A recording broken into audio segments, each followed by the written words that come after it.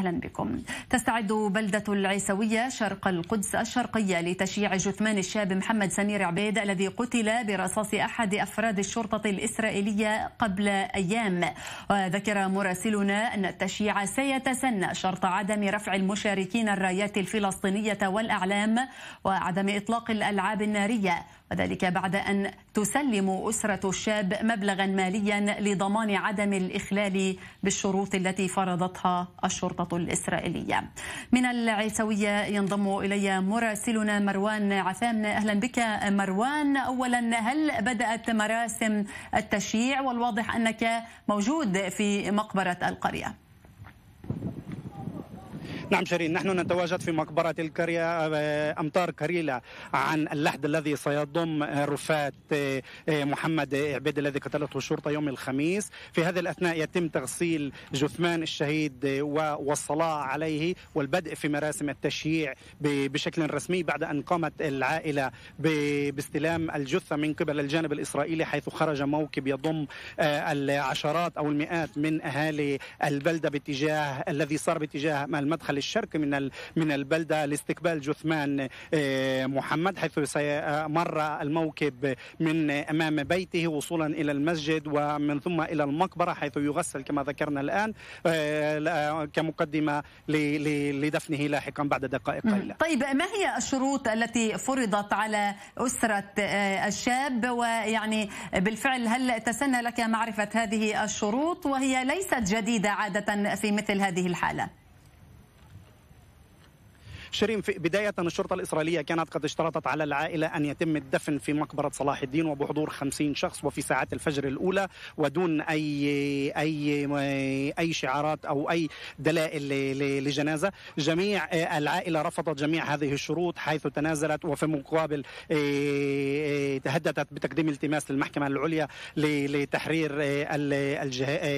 الجثمان. في المقابل تراجعت الشرطة عن شروطها وطالبت الشرطة بوضع ضمانة مالية بقيمة 50 ألف آه، شاكل كضمانة لعدم إطلاق آه، المفرقعات أو إطلاق النار ووجود ملثمين ورفع شعارات الفصائل الفلسطينية آه، المختلفة إلى جانب إلى جانب عدم ترديد الشعارات الوطنية والاكتفاء بالشعارات بالشعارات الدينية وما إلى آخره. هذه الشروط وقعت عليها بالفعل العائلة حيث تسنى لها بعد ذلك تسلم الجثمان من قبل الجانب الإسرائيلي الذي يذكر أنه كان قد احتجز احتجز الجثمان منذ يوم الخميس بعد أن أطلقت النار عليه من أطلقت النار عليه من قبل أحد أفراد الشرطة أثناء مواجهات التي نشبت في البلدة في أعقاب آه، وقفة احتجاجية كانت قد شهدتها البلدة احتجاجا على استفزازات الشرطة الإسرائيلية المستمرة. طيب موافقة الشرطة الإسرائيلية على تسليم الجثمان وتشييعه خلال ساعات النهار هل يعني تقول هذه المعطيات أي شيء عن طبيعة البلدة؟ بطبيعة الحال شيرين آه، العيسوية حتى الآن آه، لربما بقيت البلدة آه، الأخيرة أو إحدى البلدات الأخيرة التي ظلت على على على حالها في قضية مقارعة الاحتلال وعدم الاعتراف بالسيادة الإسرائيلية كما تريد السلطات الإسرائيلية. أهل القرية من خلال حديث لنا معهم خلال النهار أوضحوا أنه في أعقاب الاعتراف الأمريكي بضم القدس الشرقية وباعتراف بالقدس كعاصمة لدولة إسرائيل إسرائيل بدأت الشرطة الإسرائيلية بتضييق الخناق على أهالي القرية وعلى القرية عموما من خلال مختلف الخطوات التي تقوم بها بالتنسيق مع سلطات إسرائيلية أخرى كبلدية كبلدية القدس الغربية وكسلطات الضرائب الإسرائيلية المختلفة. في محاولة منها كما أسماها أهالي القرية لإخناع وإخضاع أهالي البلدة والاعتراف بالسيادة الإسرائيلية وباعترافهم أن هذه البلدة هي جزء من نعم. آه، من القدس التي هي عاصمة لدولة إسرائيل. طيب مروان سؤال أخير شريف. يعني إيه، قبل وصولك إلى آه، آه، هذه هذا المكان هل لوحظ يعني حضور كبير وتعزيز كبير لقوات الشرطة الإسرائيلية في القرية؟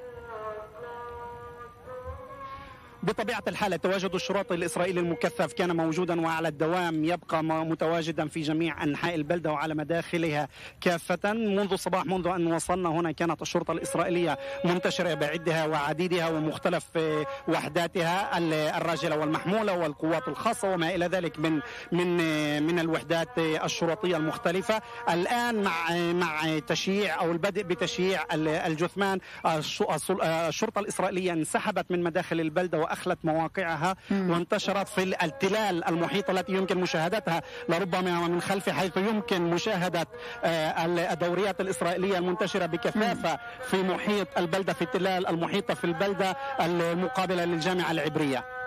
نعم. حيث تنتشر هناك بصورة كبيرة لربما استعدادات أو لربما أيضا شيرين من الواجب ذكر أن الشرطة الإسرائيلية مع التعهد الذي وقعته العائلة هددت العائلة بأنه في حال لم تخ... في حال خرقت العائلة أو لم ت... ت... ت... تتم لم تنفذ شروط ال...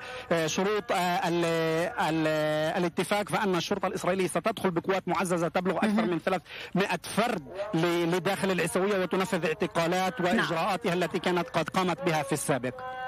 أشكرك جزيل الشكر الزميل مروان عسامنا وبطبيعة الحال ستكون لنا وقفات أخرى خلال هذا اليوم معك من بلدة العيسوية.